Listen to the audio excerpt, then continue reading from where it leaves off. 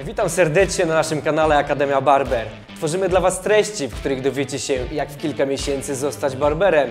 Pokażemy Wam, jak strzyc, golić brodę oraz powiemy sobie trochę o wizerunku. Ile można zarobić pracując w tym zawodzie i czy w ogóle warto otwierać własny salon.